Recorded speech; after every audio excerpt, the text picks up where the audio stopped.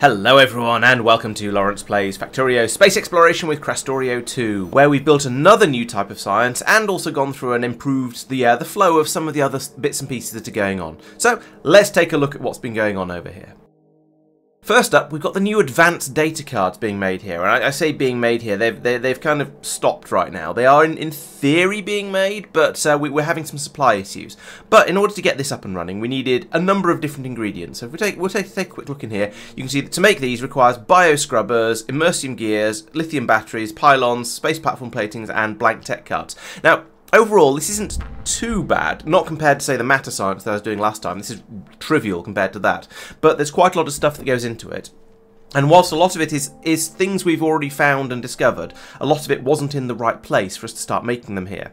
Uh, so, for example, the bioscrubbers, well, are, they're, they're all being made out on uh, on Bigrid in the in the biologicals um, area. That's fine, um, but they weren't actually on the main. Uh, they weren't anywhere on a useful bus for getting at them.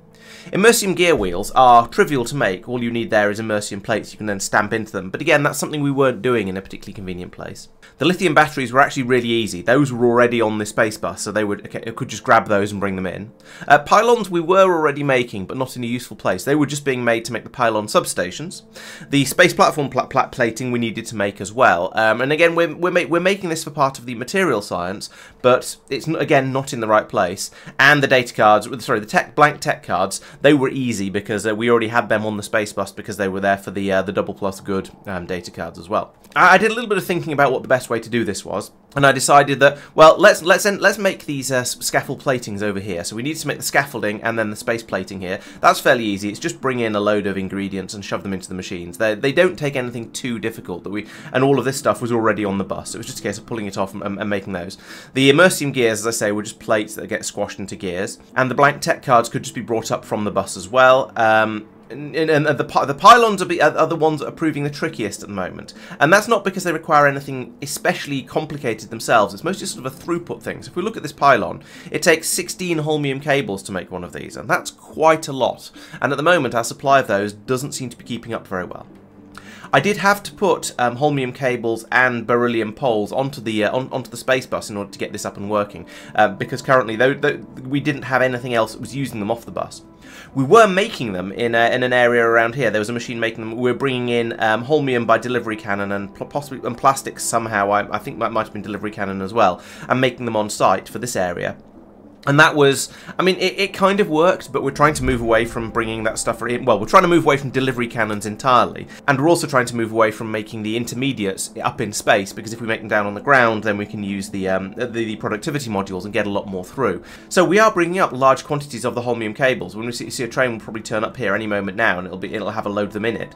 But when it does, it drops them off, and they're sort of about, about this much of a belt's worth of them. And then they all disappear up here to be turned into, I believe, the... Uh, one of the solar panels, was it? Yes, up here we're making red solar panels, and we're making them in huge quantity, or trying to make them in huge quantities. They're all getting snaffled away by uh, by various bots, I assume. Um, and these these also presumably take large quantities of the holmium cables. Well, it's only four each, that's not so bad.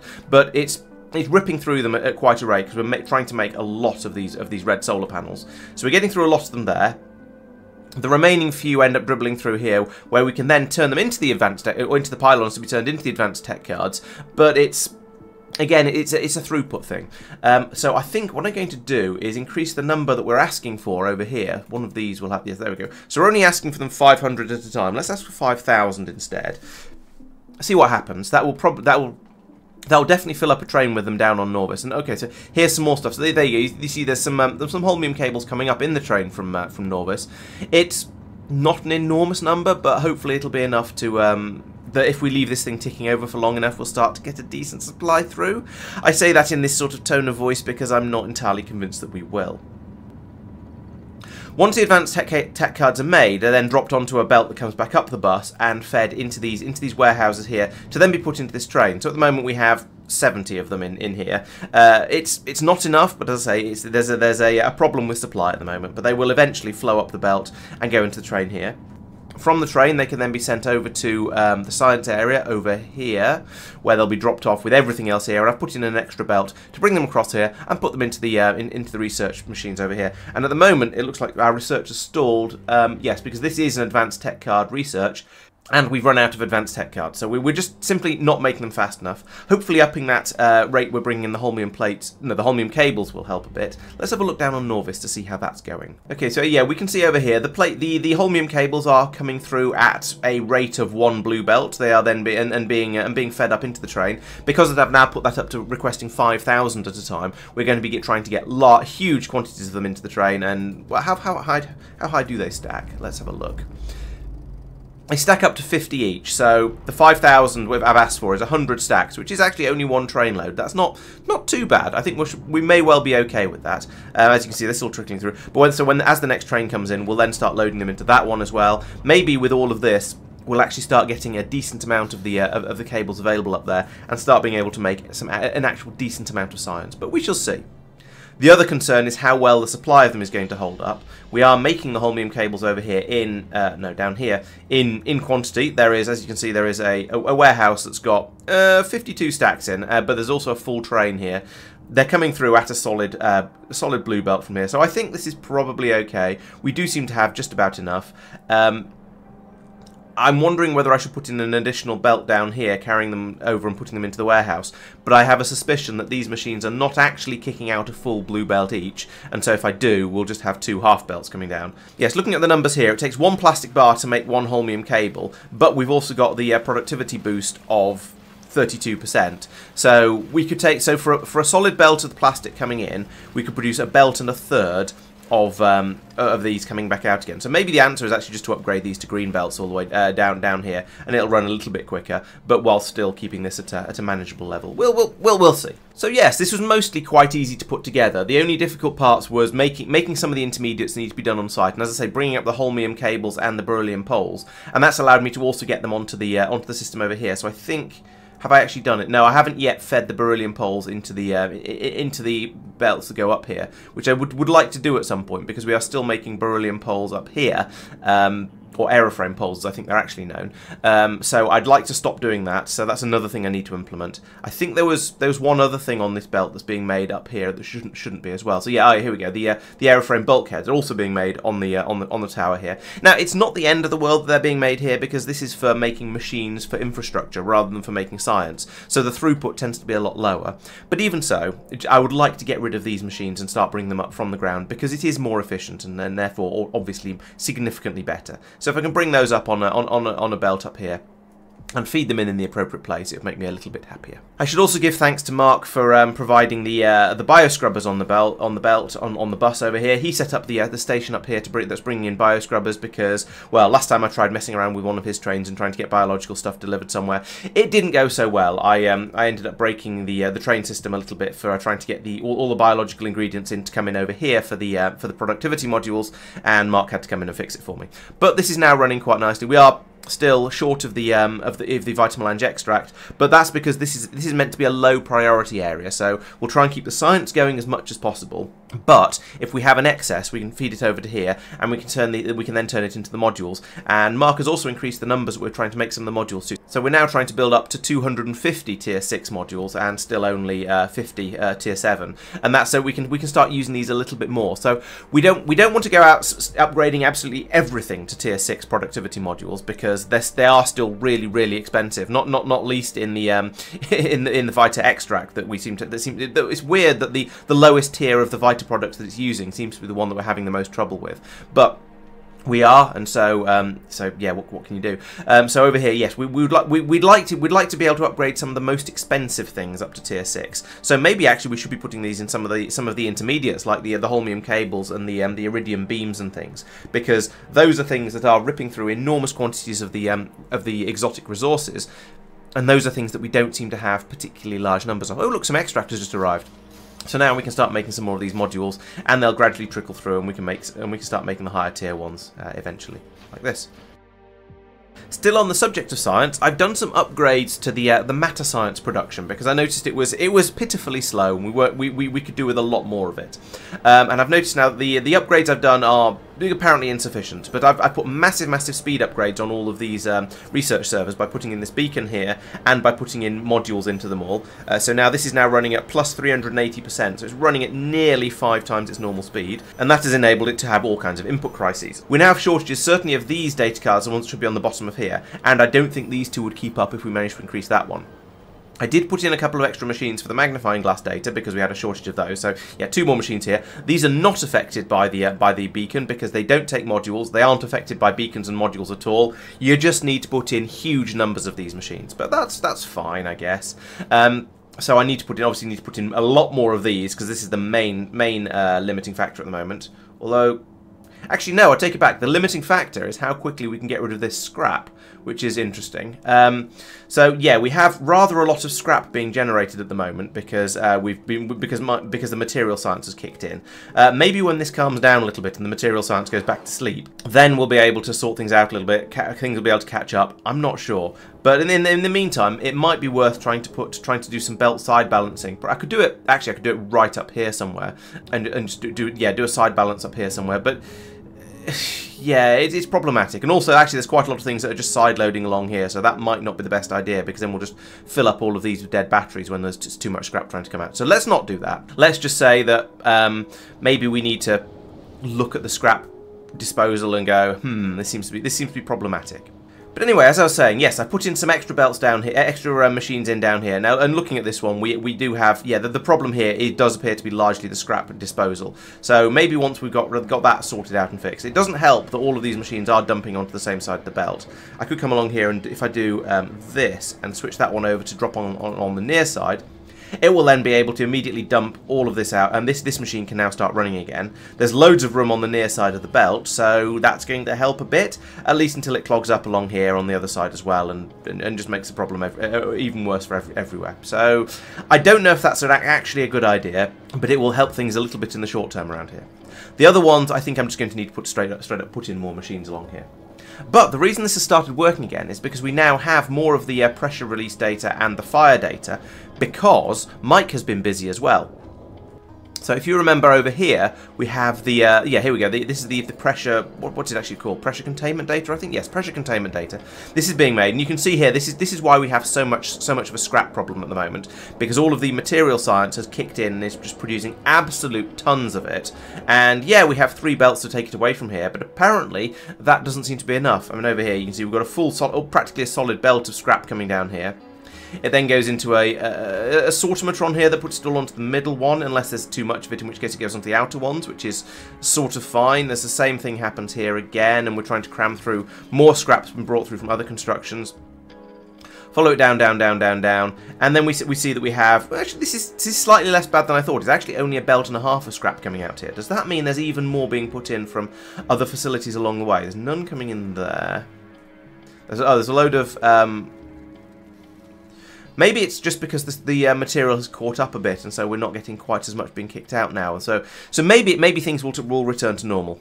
But in the meantime, there is a struggle over here to produce the huge quantities of the uh, negative of the uh, pressure containment data, and that was originally being being gated behind behind having enough of these um, iridium iridium girders coming in, and they were being made here. We've stopped doing that because that's wrong, as again we're making making intermediates in space is not what we want to do. But this was it was originally being done up here. Uh, we've moved it all away from here, so we've cut off the um, cut off the belts that are feeding the iridium in, so that that won't happen anymore. And Mike has put in an additional station down somewhere. Okay, interesting interesting. He's put in a station here that is bringing iridium, um, uh, bringing iridium girders in, and those are being fed in. So does that mean he has another one somewhere up higher for the? Yes, he's got another one here for the um, iridium bearings, and then possibly another one for the iridium bulkheads even further up. Um, that's interesting. Uh, it feels like an odd way to do things, but I know Mike is always all about doing odd things, so presumably that, does that mean over here, yes, he's got even more transfer stations over here, so he's once again, right, yes. This is this is Mike's weird system where he brings everything up in a single train to here, which unloads into the into this warehouse, then gets sorted out into separate trains around here, uh, which can then take it away from here. So it, it, it's weird. I've always said it's weird. I still think it's weird, but it does work. So, yeah, I'm not going to complain too much, I guess. Uh, but yes, this now means that the uh, the bearings and the girders are being brought up here. This means if he needs any other things to be brought up, he is going to struggle a bit because the outputs of this warehouse are now kind of full. Um, I guess the answer would be to remove this one and have the trains unload slightly less quickly. But yeah, it could, could be could be problematic later. Anyway, uh, yes, the, the Iridium intermediates are now being brought up here to the stations, uh, trains over here, and they can then be brought over here to be made into science. And the system does seem to be keeping up. If we find my my train that's getting the um, the intermediates, here we go. We are still short, still a bit short of the um, of the pressure containment data, but it is gradually filling up. And we've had a train come and go and take enough of it over down to the matter science that this has started working down here. And as you can see, we've got quite a lot of it still stored in here and in here, so this should be okay for a good while yet. Oh, and it turns out there was another problem with the uh, with with the uh, material sciences being made as well. He, they, there was a shortage of the uh, of the of these things, the material science testing packs, and this was down to a shortage of imersite crystals. So Mike and Tristan sort of decided to tag team together and and, and fix the um, or sort out the the imersite crystal train system over here. We still seem to have a shortage of imersite crystals, but you know Taras is, is doing is playing catch up, so I'm sure it, will hopefully get there eventually. Um, but there, there was a train that came from here that goes down to Nauvis with the crystals and also over to the over to the station over there with the crystals. And I believe this works in the same way that one of the other trains does, and it's about to disappear, so I can't look at it anymore. And the Imersite train now works in basically the same way that the Holmium and Beryllium trains up in space work. So as you can see here, we've got if we look at this this train, it works by first going to the beryllium ingot pickup, which is over in the spaceport, always the same place. It's there, sitting there at the moment, waiting to be needed somewhere else. It fills up. Then once it's filled up, it will try to go to a beryllium ingot drop-off. If this station has activated itself, then this will be a beryllium ingot drop-off station. So it will come here, drop them off, and then go, um, and then trying, and then try to go to Nauvis Down, which is this station here. This station is also called Nauvis Down, which is confusing, but it, it works for this system, and I'll explain that. I'll explain the whys and wherefores of that in a moment because it is fairly complicated. And then it'll then it'll go, oh, this station doesn't exist, so it'll go back to Nauvis. Uh, it'll go try to go to Nauvis. It'll go, oh, that station doesn't exist, so it'll go back to beryllium ingot pickup. If anywhere down on the ground requires um, beryllium ingots, then it'll go to it, will it won't go to beryllium ingot drop off because this station will be deactivated. It'll go down the space elevator. It'll go to beryllium ingots from space to drop off. Then it'll go back up the space elevator and then go back to do the pickup. So the funny thing we've done, there are two funny things we've done here. One is that the train doesn't leave when it's full and there's an available station. It leaves when it gets a circuit condition saying, hey, somewhere would like beryllium. And that and so these these areas will both this area and down on the ground will both send out a signal on the on the red network saying, hey, we need some beryllium, which will trigger, trigger the train to leave here. The second bit of funny business is having this station here for Nauvis called Nauvis Down, um, because this means that the the train will then go to. If the train is parked here, it will be able to see this station, but if it's anywhere else in the factory, it won't be able to because it can't get to this station from the opposite direction. So if it's anywhere else in the factory, it will go to the actual real downstream station, the one that takes it to uh, down station, the one that goes down the space elevator which is why it's able to go down if, if, if any is required on the ground. But if it's parked here, then it will go to this one. It'll go, oh, that was easy, and then it'll have skipped this. It'll have skipped going down the elevator, so it will then skip these two because those stations don't exist, and go back to beryllium ingot pickup. So it's a bit convoluted, but it's a nice way of allowing the train to go to either a station in space or a station on the ground, depending on which one actually requires the um, the beryllium ingots at the time. We could put it, and we can put in more of these beryllium ingot drop-off stations if we want to, as long as the train doesn't get overloaded and too busy to, to actually get to all of the different stations then having then going to both the ones in space and the ones on the ground with the same train will work quite nicely.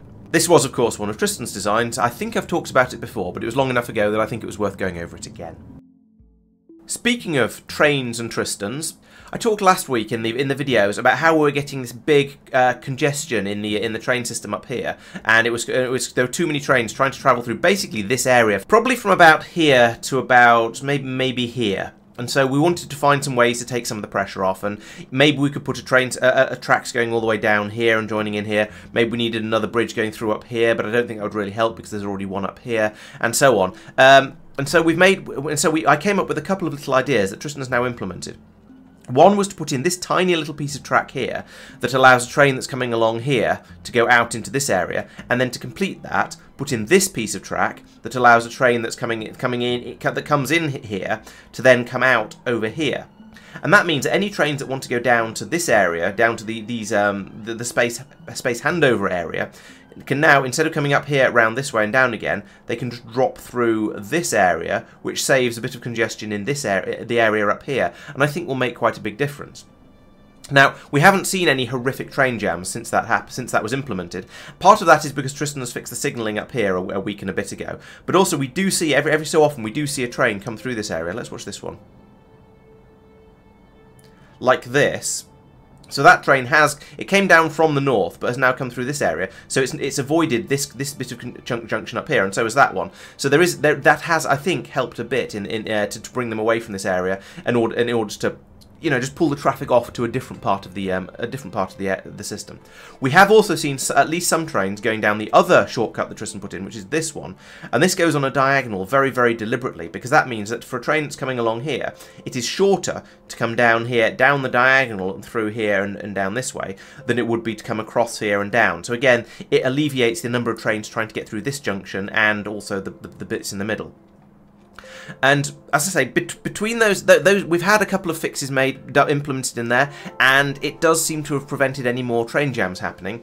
Um, I don't know how much of that is down to improving the signalling up here, and how much is down to putting in the shortcuts over here, but it does seem to have worked. I also noticed there's another train coming through here, coming around the top way, which is another uh, roundabout route to avoid going through the junction down here. So yeah, we've put in a number of little little tweaks here and there that will hopefully alleviate some of the pressure on, on this area that's right in the middle of our, our, our rail systems and, and, and take, as I say, just, just take some of the pressure off. There is a line that goes all the way around the bottom here um, and then doesn't go anywhere. Does it go? Oh, it does go all the way down here and then up up here. So in theory, a train that wants to get to the intermediates area could come down over here, all the way around here and back up again, but it probably won't because why would it?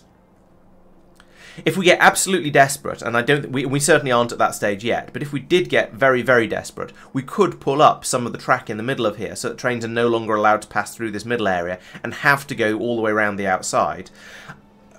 I think that will lead to trains travelling much, much further distances, which could lead to logistics throughput problems, but it would remove the jams in the middle.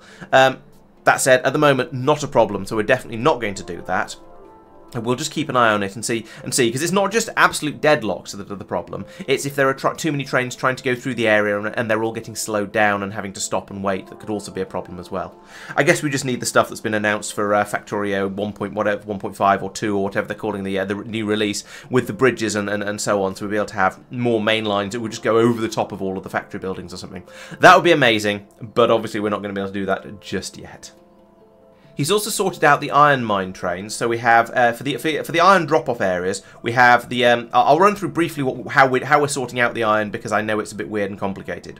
So there are three three sources of iron. There are iron mines on the planet, the nice standard vanilla way of getting iron.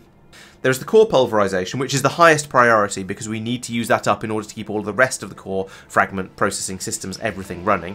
And then there is the ore that's being brought in from Oliran, which is uh, essentially unlimited because it's being produced from crushing uh, iron core fragments, and so we're going to get enormous, enormous amounts of it and never have any problems there, hopefully, theoretically.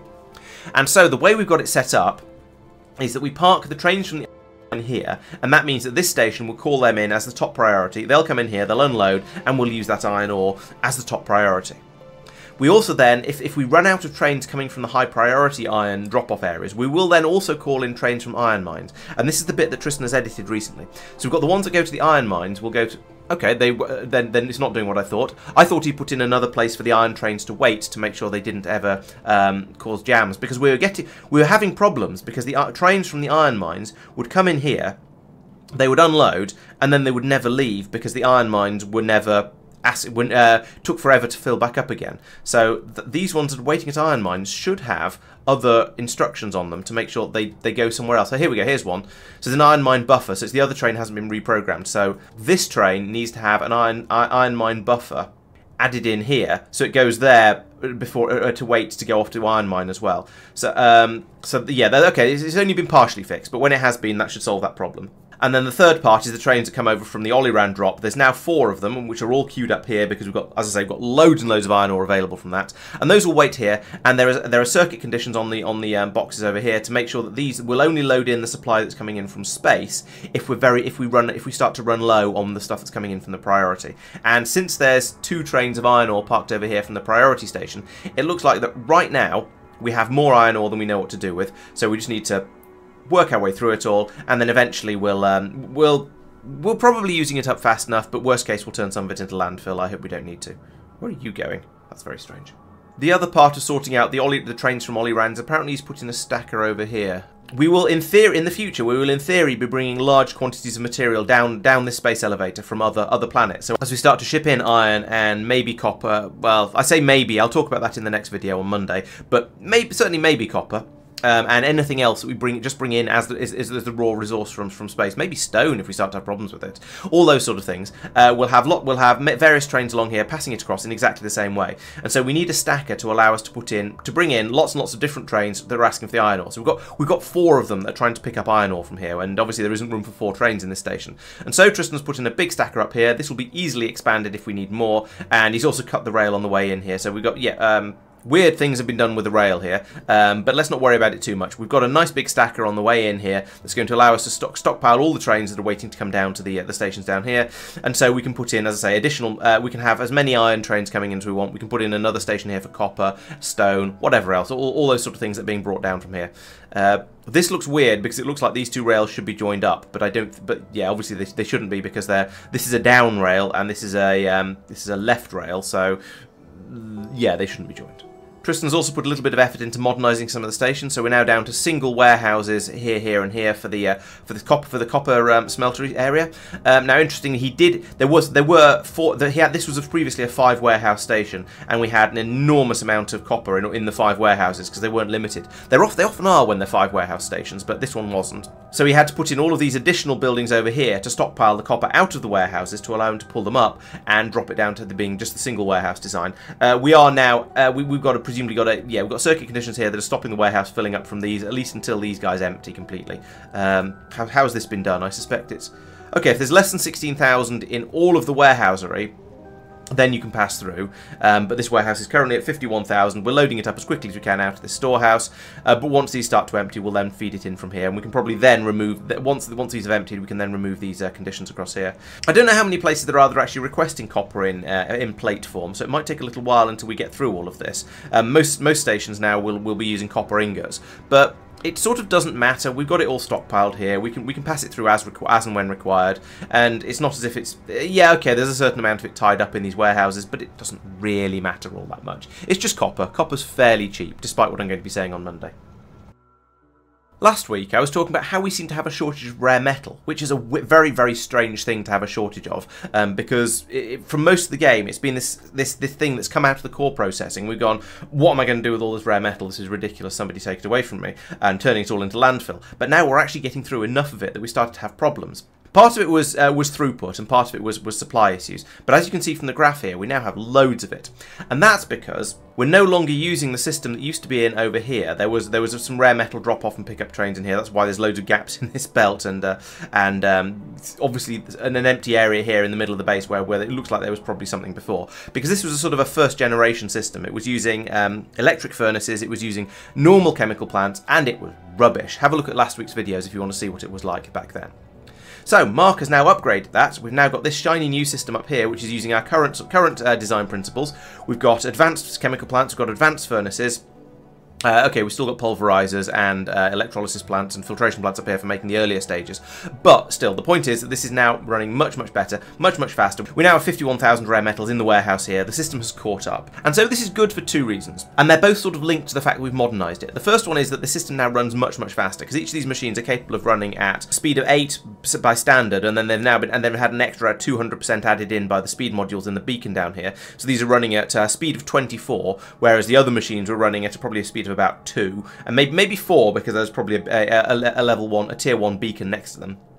Same with the advanced chemical plants. These are now much, much faster. We can rip through the, uh, the, the raw rare metals, turn it into the enriched rare metals, and then into the actual rare metal ingots much, much more quickly and, and effectively. And the second part is because we've upgraded it to the top to, to the new level, we can now fill, put in so many more um, of these of these productivity modules. Oh, look, there's a train going. Um, and so, so this means that now we're getting for, for the on the rare metals, we're getting a 32% boost of productivity there and a 40% boost there, which is that's, that's fantastic. As you can see on screen, I'm going to put up the numbers for what that actually means on a mathematical level. But yes, we're getting a lot more out for what we're putting in compared to what we were getting before. And so that has short solved the problem of both the processing speed being too slow by using much much faster machines and, and more more speed modules, and also the fact that the supply was insufficient by putting in all of the productivity modules and getting a significant boost to the amount of, amount that comes out for the for the same amount going in. So we so this has solved both of the problems in one one fell swoop, and also um, i have every confidence that Marc has checked this system up here and, and and checked the ratios and made sure that this is now going to be producing the uh, what is it the hydrogen chloride fast enough to keep all of this running, as long as we keep the supply of stone um, happy.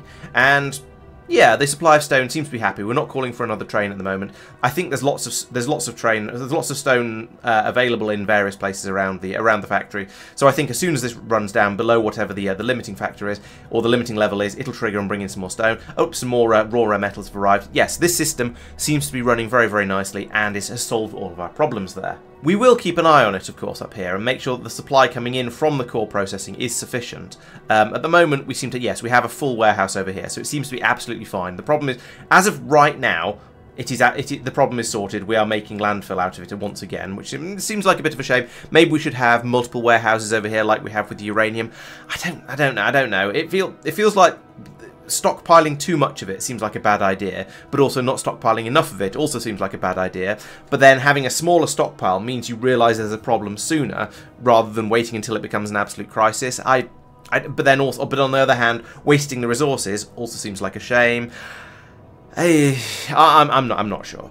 We have discovered that we have a ridiculous amount of, um, of landfill uh, now, and Marc has spent a not insignificant amount of bot effort uh, filling in some lakes somewhere. Um, I'm not sure which one it was he's been filling in. Maybe it's this one down here. Uh, he's also been plastering a lot, putting a lot more uh, flooring down over here. I looked at the map and there were about, there were probably literally 10,000 bots flying around and I went, this is great. I was trying to, I wanted to do some building of stuff and now I can't because all the bots are busy. So, um, yeah, there's a lot of, oh, it's probably here. All of this area has been landfilled even though it doesn't, doesn't necessarily need to be yet, but it's a, but it's a way of getting rid of some of the excess uh, landfill because, because the system filled up, which is a crazy, crazy problem to have. This plentiful supply of rare metals has also enabled us to bring more rare metals up to space, which are being stockpiled here. I think I talked about this a little bit last time. Uh, and Marc has now started bringing them over to Big Bigrid, which is this ship, um, because he needs rare metals over on Big Bigrid as well. I forget what for, but they're definitely needed over there in, in, in, in, in reasonable quantities for one of the uh, biological processes. We'll be looking at that a bit more on Monday as well. Um, so yeah, he's going to be taking a load more of those over. And so, I think this is this is enough talking for this episode. I've been uh, it's, it's gone over the half hour of what I normally aim for. So um, on, but there's and there's still plenty of stuff to talk about on Monday, where I should be uh, touching on uh, some of the upgrades that have been made out for, for more resource generation. We've made some big, big improvements on. Well, I, I'm part. I've made a mess on Agnea, which I shall show you next time. And um, uh, Marc has made some also made some improvements on on Bigrid. This, this is help, helping uh, helping with some of the supplies of some of these weirder biological things that we're trying to get hold of. And so we'll talk about all of that on Monday. So come along then and uh, for the video and make sure you subscribe so you don't miss out on it or anything else that goes on on the channel. Tuesday will be the XCOM stream as ever, where, um, where I'm going to carry on doing doing the plot missions because I've got to the point where I feel like the Avatar project is not is not a danger. The Chosen are mostly sorted out. I can I can do some plot missions without having to worry about other things too much now. So it's yes, time to advance the plot. Then on Thursday, we'll be carrying on with a lot of the stuff that we've been talking about today. I don't think there's going to be any more science packs being made on Thursday, but there will be some big improvements needed because we are still quite short of quite a lot of the more advanced ingredients. So over here, it's still showing a shortage of, of iron. I might take a look at that. Um, and steel plates as well. Um, but these, the, um, but they're mostly over here with all of the exotic materials over here. We seem to have some serious shortages, especially of the um, holmium and the iridium and the vulcanite and the cryonite. So we'll need to need to go and find out why those are problematic, sort them out, get them flowing better, more, harder, faster, stronger, all of that sort of stuff. That's going to be Thursday's mission. There should be another uh, tutorial video coming out on Wednesday, so keep an eye out for that if you're a supporter. It'll come out the week after if you're if you're not. And there's always a little something trying to come out on Fridays as well to keep to keep to keep the channel busy. So uh, there should be something something there as well. So as ever, thank you very much for watching. Please make sure you're subscribed, following the channel, every, all of that sort of stuff. Follow me on Twitch or Kick or YouTube, whatever, all of those sort of things, uh, so you don't miss out on anything that's going on on the channel. Thank you very much for watching, and I shall see you next time. Bye bye.